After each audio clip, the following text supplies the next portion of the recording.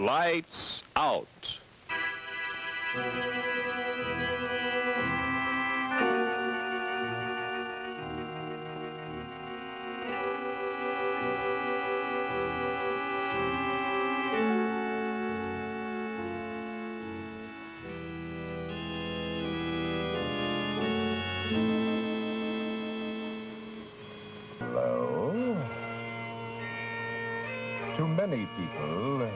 Bagpipe gives forth strange, sometimes eerie sounds.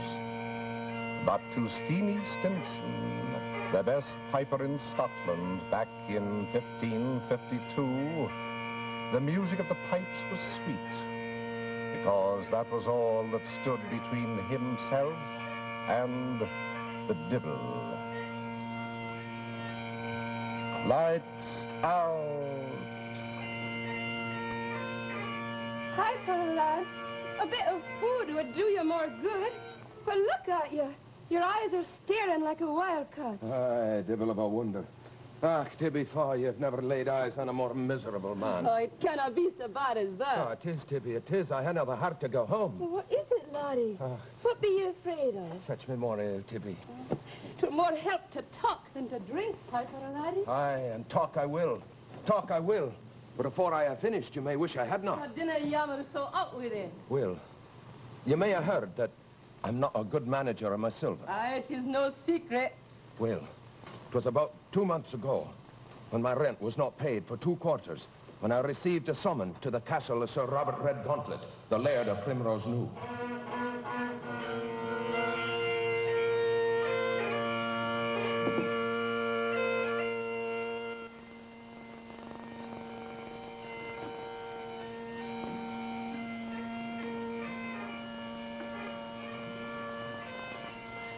The tenant Steenson is here.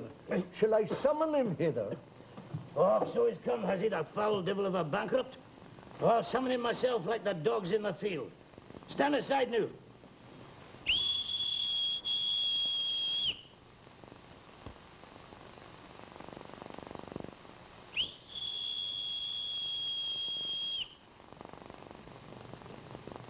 Summon the jackanapes.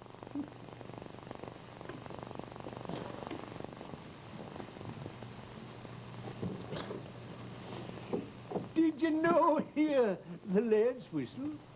I do not run with his whistle. I'm not his dog. Oh, stut, stut, stut. Uh, put a smile on your face, or you'll be losing your home by morning. Steenson, you limit Beelzebub. Why didn't you come running when you heard my whistle? Do you know it be the command of your laird? I do not ken it were meant for me. I do not intrude myself unless I'm summoned by name. I'm but a weaver, your lordship. I a wondrous piper as well. Ah, hold your tongue, Malcolm. I ken his piping well. Now hear me, Steenie Steenson. My rents are paid when they're due on the day precise. And I'll no have it otherwise, or I'll no have you as a tenant. How much are you in arrear? 500 mark. 500 mark, is it? Well, then, 500 mark I'll have this very next, Steenie Steenson. Or off my land you'll flit, pipes and all. This nicht. But I have not got the silver. That doesn't concern me. I'm keen about my rent and nae more. But your Fetch lord- it!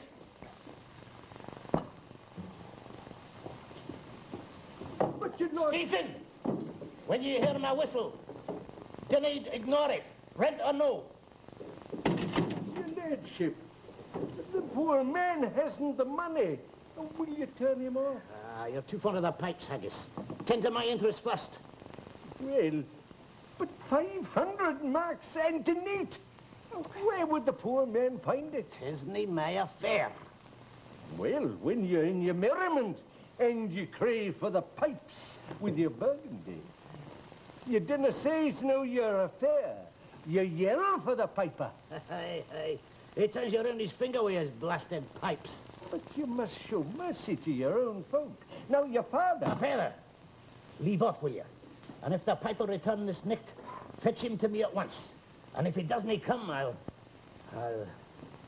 Well, I'll tend to him in the morning. Go to your bed, Malcolm. Get your rest. Uh, remember, Sir Robert, what the physician said. You drink at the peril of your life. Oh, you're getting odd, Malcolm. You're chattering like a magpie. Away to your bed. I'll wait till the piper returns, and I'll hope to find a abroad more mercy than is here at Primrose Knoll. Ah, Five hundred merk. Whisht, man. Tis a great heap of silver you're asking. I ken it well, Jamie. How ought a security for such a sum? Will you take my gear? Nay. I have not else. What are your pipes? My pipes? Nay, I'll not pledge my pipes. Good even to you, Jamie McPherson. Rest you well.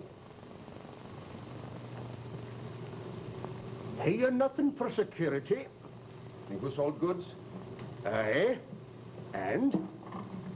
me gear. Aye. And I have not else. your pipes?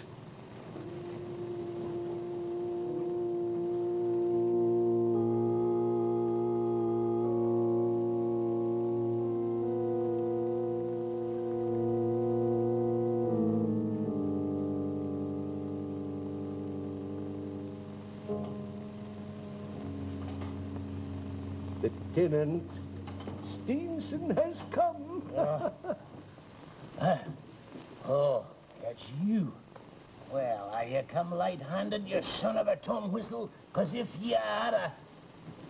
Ah. Is it all here, Steenie man? There is not missing, your lordship. Good.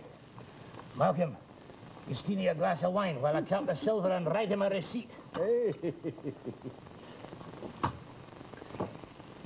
a steeny lad. He's monstrous pleased that he is. Malcolm! Oh, Steenie, Steenie, help me with him. Aye. Aye. Come, your lordship. Oh, wine, Malcolm. I need wine. Oh, don't just stand there help me? Oh, the fires of hell be in me. And you, you, play me a tune on your pipes, you devil of a minstrel. I fetch a physician. Aye. Play, Oh, no, no. play, or I'll have your liver. Two nights later, the word was passed that the laird was dead. Aye, the old one said 'twas the working of a wizard. Aye, well, tonight, with the corpse scarce cold in the ground, I received another summons. To the castle? Aye, from the new lord of Primrose Knoll. Ah, Tibby, let me tell you what's just happened.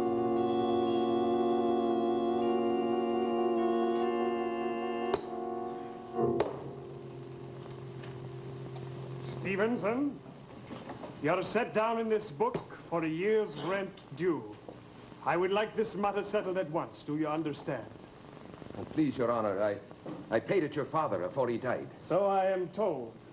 You have a receipt then, and doubtless can produce it. A receipt will, uh, no, you see, I had not the time. No sooner did your father take the silver to him than he was seized with the pains that removed him. Oh, that was unlucky, Stevenson. Very unlucky. Aye. But was there not others present to observe the transaction? Faith, Sir John, I had just remembered. The money was paid in the presence of your father's butler, so Sir uh, Malcolm O'Haggis. Malcolm Haggis! Aye. What sort of a gull do you take me for, Stevenson? Have you not heard that Malcolm Haggis was taken to his final rest not two days ago? Have you no one to call upon but the dead? The man you say you paid it to is dead, and the man you call to witness is dead too. Give up this foolishness, Stevenson, and pay your debts, man. I'll no be taken in by it. I had to borrow every I mark have in no the money. doubt you borrowed the money, Stevenson. It's the payment to my father I want proof of. Somewhere the money must be if there's a word of truth in you. I asked you to tell me where you think it is, and I demand an answer. In hell, if you ask me. In hell with your father and his silver whistle. Oh, Bailey, stop him!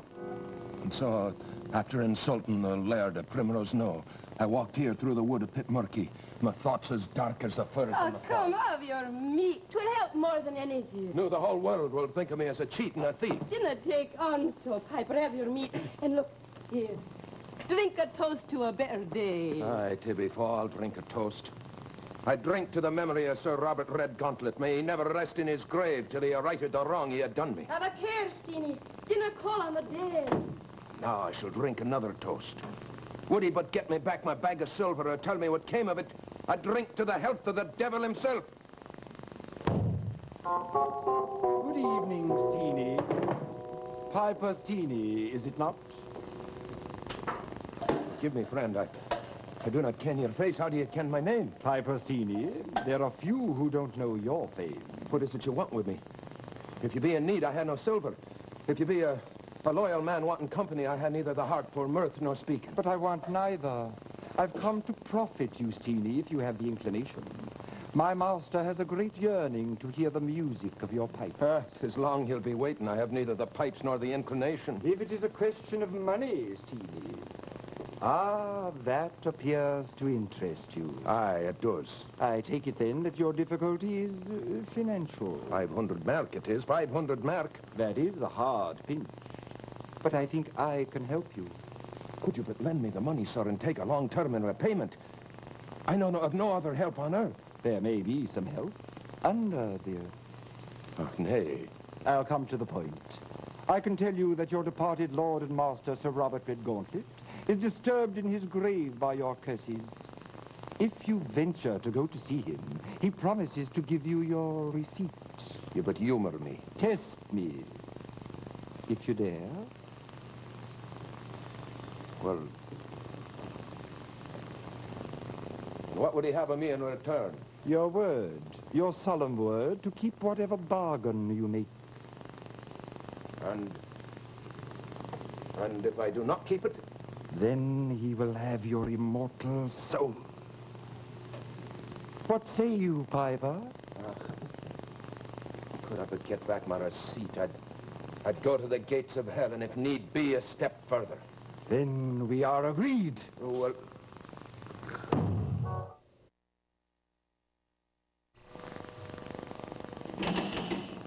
Nay. Nay, nay, Malcolm and Haggis, you're dead. Turn away your face. Do not look at me or you'll be lost. Is it really you, Malcolm O'Haggis? They had told me you were long dead. Oh, do not fret yourself over me, uh, steamy lad. But look to yourself well. You be in great danger here, and unless you mind what I say, you may never go hence. On the peril of your immortal soul, take nothing here from anyone save your receipt. Neither food, nor drink, nor money, but just your receipt. And above all, do not play upon the pipes. Tis the snare he set for you. Aye. Come with me.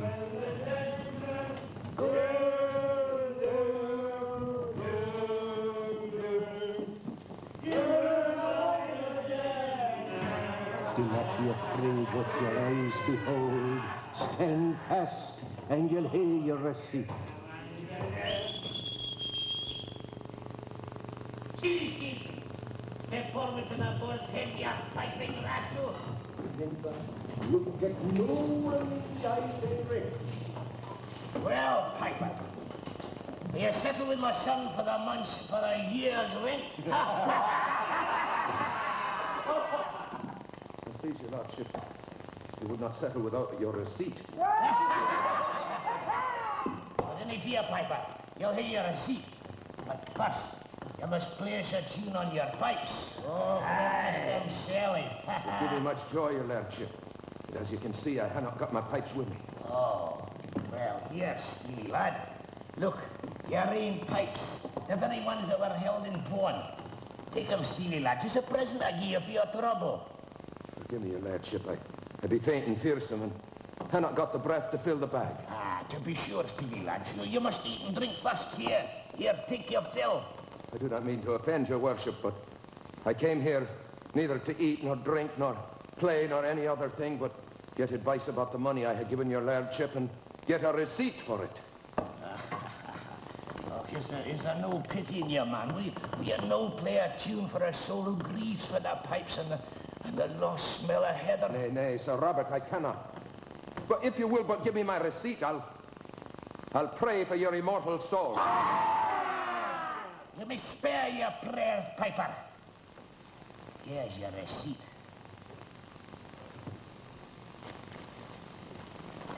Now, that's for the money. My dog whelp of a son may go look for it in the cat's cradle. Many thanks, your lordship. Stop! You sack-doodling son of a wizard. I'm not done with you. you'll return to the widow Pitmurky 12 months hence to pay your master the homage you owe him for his protection. And mind me well, Piper, I'll pay my due. You'll hear your due and no more. I commend myself not to you, Sir Robert, to the pleasure of the Almighty.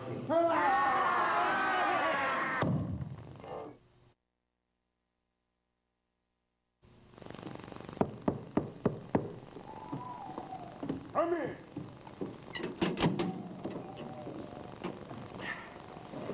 Well, Stevenson, you devil of a bankrupt, have you brought my rent? No, I have not. Aha. But I have brought your father's receipt for it. What? Here it is, your worship. Oh, you told me he had not given you Will your lordship see if 'tis in order? From my appointed place, this 25th day of November. Why, that's only yesterday. Villain, you must have gone to hell for this. Nevertheless, I got it from your father's hand. I shall denounce you for a witch to the Privy Council. Even though it shame your father's memory and yourself as well. Does your lordship deny that 'tis in your father's handwriting? Uh, it is very like his hand, but sorcerers and forgers. He said more. He said the money I paid him's to be found in the cat's cradle. In the cat's cradle. Aye, his exact words. Why, tis the box my old father ever kept beneath his chair. Aye, and here it is.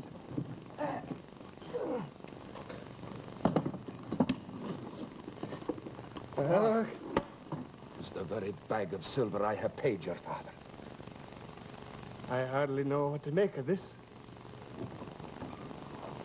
The rent book, your lordship. Aye. I shall credit you in the rent book with the contents of the bag. And the receipt. The receipt? Your uh, worship is most generous. I shall make a bargain with you. I shall return the silver in the bag on the single condition that you say nothing of your visit to that phantom you call my father. Is it agreed? Many thanks, your lordship. Aye, the receipt. Aye, the receipt. As for this, it is a queer sort of document, and I think it were best to put it quietly in the fire.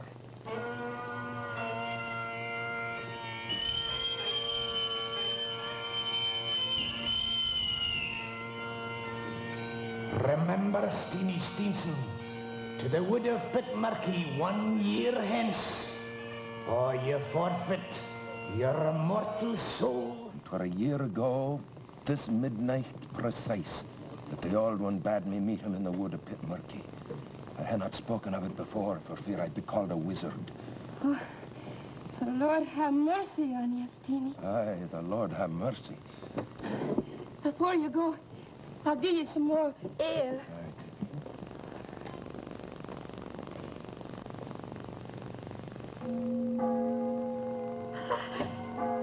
Steenie, tis midnight.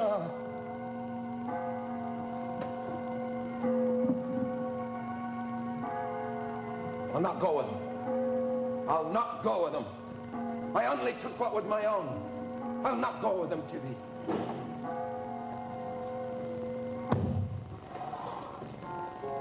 Come, Steenie. My master awaits. Have you forgot? Nay. Nay, I have not forgotten. Come then, let's be off. Or we'll have Sir Robert Redgauntlet in a temper. He will not go. Hold your tongue. This does not concern you. I say he will not go. He owes you naught. He has contracted to return this night. He cannot refuse. I only took what was my own. Piper Steenie, you cannot avail yourself of help from below without paying for it. I only took what was my own. Well said, laddie. What a pity. I would have preferred that you came willingly. Oh! I'll crack the first head that comes near, ghost or live. Ah, such resolution. A pity to waste it. Now mind me well, Piper. If you do not fulfill your bargain and come this instant of your own free will, I shall take you by force. Hold. The only bargain I made with you was to visit Sir Robert Redgauntlet in his grave. That bargain I have fulfilled. I attain only what was mine own, neither food nor drink. And by every law on earth, I should be quits with a lot of you. Take him. Nay, Stir Hey. your pipe, bloody. Stir your oh. pipe. Play. Play, Piper. no, no! Stop it! Don't play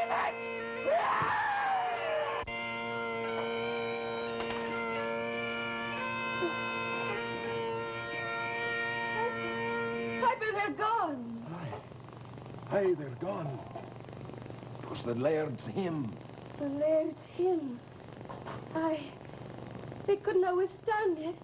Oh, you're saved, laddie. you're saved. Scull the pipes, man. Scull the pipes.